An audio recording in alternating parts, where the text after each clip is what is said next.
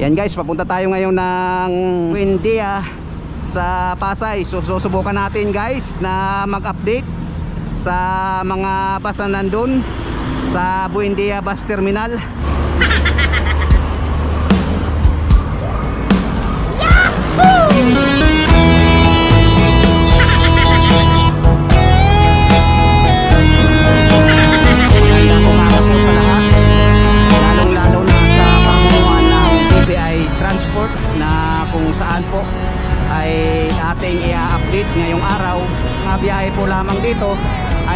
biyaheng Pasita at saka Balibago. Pa yan pa lang po ang mga biyahe ngayong araw. Ang Pasita, ito po ay mag exit Ana Heights and diretso ng San Pedro and then tuloy-tuloy na po siya ng Pasita. Ang biyahe po nito Pasita, San Pedro at diretso na doon sa kanilang terminal. Palis na po ang biyahe Pasita. Ah, magtanong sa mga gwapong na pugi na security guard or bus driver kung saan. Kung kukuha tayo ng impormasyon sa kanila guys kung tayo po ay pagbibigyan or i-entertain tayo para malaman natin kung ano pa ang ibang mga biyahe nila. Hanap tayo guys na matatanungan kung sino ang available. Kuya good morning. Ano po yung mga requirements bago makasakay? Wala, wala na. wala na po. So anong available na biyahe dito sir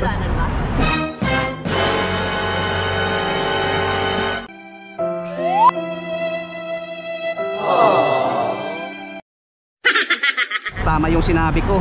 Dalawang biyahe pa lang po is yung Pasita at saka Balibag nakakuha na naman tayo ng balita rito sa terminal. Na daw requirements guys. Kaya uwi ng Pasita. Balibago ay dito po kayo sumakay sa BBL BBL bus line. Punta naman po natin yung biyahe ng DLTV bus. Mga mananakay po ng DLTV bus ay nandito po ako ngayon para umupdate sa mga biyahe nila rito. Ay kuya, good morning. Ano pong requirements pag pupunta ng Santa Cruz, Laguna? Wala, ano. Wala na po. Ano? Pamasahe lang. Ah, magkano po ang pamasahe? 175. 175. Kuya, anong oras ang last trip at saka first trip? Ang first trip dito, alas 5 ng madali araw. Okay. Ang last trip, pagka mga ordinary days, alas 7. Para pagka biyernes Sabado, alas 8. Ay, Santa Cruz! sige sir. Ano po iba pong biyahe mga dito? Ibang biyahe pa bukod sa Santa Cruz? Wala, Santa Cruz lang. Ah, yeah, salamat po. Kuya, good morning. Ano ang mga kailangan bago makasakay sa bus papuntang Limery? Sir, ano lang? Facial face mask. Sa kayo, sir? Ay, sige kuya, salamat po ah. Library, sa kayo? So anong oras ang ano last trip? Ano size? Ah, Okay, salamat. So, busy sila guys. So, ito po ang biyahe nila rito. Pwede kayong pumunta or umuwi or pumunta ng Batangas Pier na kayo po ay sumakay dito sa DLTV Bus Company na kung saan ito po yung pinapakita ko so na Nasugbo, Lemere at saka Santa Cruz Laguna and then Batangas City Pier. So sorry po. So yan guys, ang na-update ngayon natin ngayong araw. Punta muna po tayo sa kabila para pakita ko sa inyo ay ito pa rin.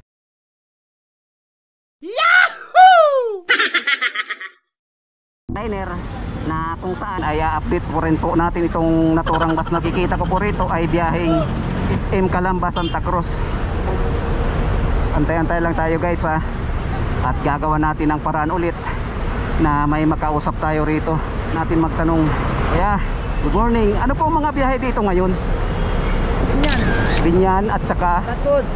Southwoods ano pa po Tapos Santa Cruz. Kuya, ano po ang mga kailangan na documents para makasakay sa inyo? Halimbawa pupunta ako ng Santa Cruz. Wala naman. Wala na po yung Walang sinas... bata, bawal ang bata eh. Ah, wala pa, di pa po pwede. Oo. Oras kuya ang first trip? Ah, alas 4 dito. Ah, last trip. Ah, alas 9 ng gabi. Ay, kuya, salamat. Okay. Wala na guys talagang mga requirements sa mga bus company, company rito. O kinakailangan nyo lang na siyempre magsuot ng face mask at face shield. Napasay na guys, side sa.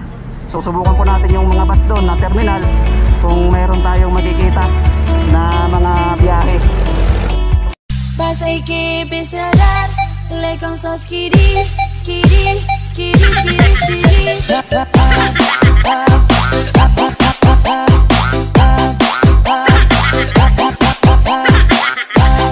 sinasabi ko sa inyo guys na 5 star sa Malibay sa Pasay na terminal mag-entertain sa atin na guard guard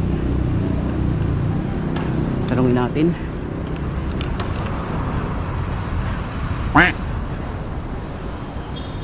Kuya, good morning po.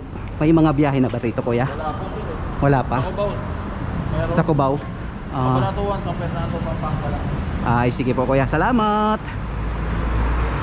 Ah, guys, wala pa talaga. So, nakausap natin si Poging Guwapo na guard at wala pa talaga. So, punta natin guys yung sa Partas para at least makita nyo kung mayroon ba o wala. Ito naman siya guys, yung biyahe ng Partas Bus Terminal. Kung nakikitang bus dito guys, pero, pero pa rin, zero balance. Wala tayong nakikita. So, is enough sa oras na alas 12. So, napakalayo pa ng ating papadyakin guys. Ah, 15 kilometers ang layo simula sa bahay. Naman at least nakapag-update tayo guys sa mga biyahe. So hanggang dito na lang muna ang aking video guys. Portahan nyo na lang po ang aking YouTube channel. At huwag nyo pong kalimutan subscribe ang aking channel. At napakahirap po magpadyak. Naloko na. So na lang po kayo sa mga susunod ko pang mga gagawin na mga video. I-click na rin po ng notification bell para lagi kayong manonotify kapag nag-upload akong video sa YouTube. So that's all guys. See you soon. See you on the next video. Bye boys.